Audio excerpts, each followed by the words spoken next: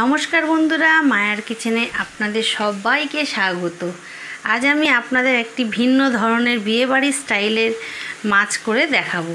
তো বন্ধুরা, আমার চ্যানেলের রান্নাগুলো যদি আপনাদের ভালো লেগে থাকে, আপনারা কিন্তু আমার চ্যানেলটাকে অবশ্যই করে যারা এখনও সাবস্ক্রাইব করেনি তারা সাবস্ক্রাইব করে নেবেন। আর যারা আমার চ্যানেলটা রান্নাগুলো দেখেন, অবশ্যই ভালো লাগলে কিন্তু লাইক, কমেন্ট এবং শেয়ার করবেন। আর বাড়িতে থাকবেন অবশ্যই। এখন যা প্রকৃতির অবস্থা, বাড়িতে থাকবেন। বাড়িতে থাকলেই আমরা সুস্থ থাকতে পারব এবং আমরা এই করোনার সাথে, এই ভাইরাসটার সাথে লড়তে পারব এবং আমরা সফলতা পাবো।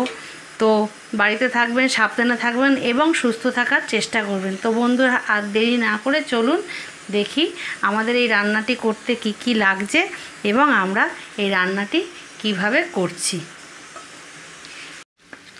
তো মাছগুলো ধুয়ে আমি এখানে প্রথমে লবণ ও হলুদ দিয়ে ভালো করে মাখিয়ে ভেজে নেব। তেলের মধ্যে মাছগুলো সব ছেড়ে মাছগুলো সব ভেজে নিচ্ছি। নিচের দিকটা ভাজা হয়ে গেছে। এখন আমি নিচের দিকটা উপরের দিকে এবং উপরের দিকটা নিচের দিকে করে মাছগুলো সব ভেজে নেব। মাছগুলো সব ভাজা হয়ে গেছে। মাছগুলো আমি এখন এক এক করে তেলের থেকে সব তুলে নেব। তেলে আমি গরম মশলা ফোড়ন দিয়ে দিলাম। এলাচ ও দারচিনি আমি থেতো করে দিয়ে দিয়েছি। কাজ পেঁয়াজ, আদা ও লঙ্কা, রসুন একসাথে বেটে আমি এখানটায় ফোড়নে দিয়ে দিলাম। দিয়ে এখন আমি ভালো করে ভেজে নেব।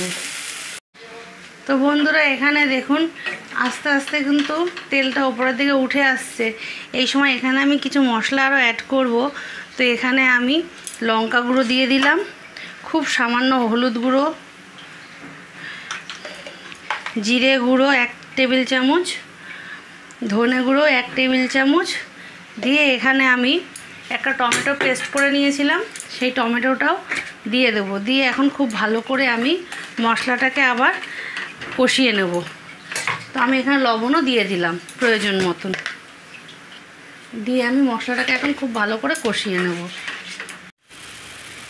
তো এখন দেখুন মশলার উপর থেকে তেল ছেড়ে দিচ্ছে, আর কড়াইয়ের গায়ে থেকেও তেল ছেড়ে দিচ্ছে, তো মশলাটা এখানে ভাজা হয়ে গেছে। তো এই সময় এখানে আমি এক চামচ কাজু বাদাম বেটে রেখেছি এবং এক চামচ পোস্ত বেটে রেখেছি এটাও আমি দিয়ে দেব। এবং এখানে আমি দই ফেটিয়ে রেখেছি, দইটাও দিয়ে আমি এখন খুব ভালো করে কিন্তু আবার কষিয়ে নেব। তো এখানে দেখুন সব মশলা থেকে পুরো তেল ছেড়ে দিয়েছে, মশলার উপরে তেল উঠে গেছে। তো এখানে মশলাটা খুব ভালো করে ভাজা হয়ে গেছে। এখানে আমি আমার প্রয়োজন মতো সামান্য চিনি দিয়ে নিলাম। চিনি দিয়ে আমি একটু নাড়িয়ে চাড়িয়ে নিয়ে আমি যে মাছগুলো ভেজে রেখেছি, মাছগুলো সব এখন একটা একটা করে আমি মশলার মধ্যে ছেড়ে দেবো।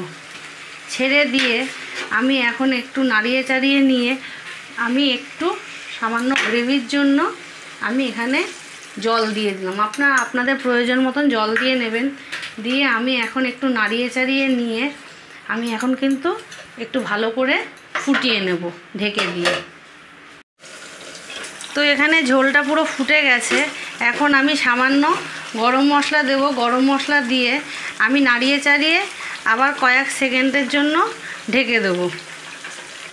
তো আমার গরম মশলা দিয়েও ঢেকে রেখে মাছটাকে ফোটানো হয়ে গেছে। তো আমার মাছটা পুরোটাই রান্না হয়ে গেছে। আমি এখন গ্যাসটা অফ করে দেবো। তো বন্ধুরা, ভালো লাগলে অবশ্যই কিন্তু এই রেসিপিটি বাড়িতে ট্রাই করবেন, বানাবেন, খাবেন এবং ভালো যদি লেগে থাকে আত্মীয় স্বজন, বন্ধু বান্ধব সবার সাথে শেয়ার করবেন। অবশ্যই করে কিন্তু ভিডিওটা লাইক দেবেন এবং কমেন্ট করবেন। আর যেসব বন্ধুরা আমার চ্যানেলটাকে এখনও সাবস্ক্রাইব করেনি, তাদের জন্য বলছি, তারা কিন্তু অবশ্যই প্লিজ আমার চ্যানেলটা সাবস্ক্রাইব করে নেবেন এবং পাশে থাকা বেলটা চিপে দেবেন। এর ফলে আমার চ্যানেলে নতুন নতুন রান্নার ভিডিও পেতে আপনাদের কোনো অসুবিধা হবে না। তো বন্ধুরা, আজ এখানে এই পর্যন্তই। অন্য কোনো দিন অন্য কোনো ভিডিও নিয়ে আপনাদের সামনে হাজির হয়ে যাব। নমস্কার।